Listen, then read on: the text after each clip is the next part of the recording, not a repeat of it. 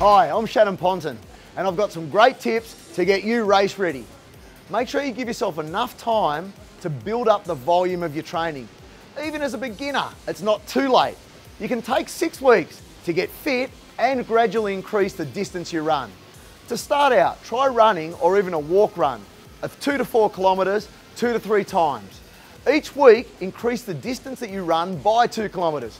You're not going to believe it, by the end of six weeks, you'll be running 12 Ks and you'll be race ready.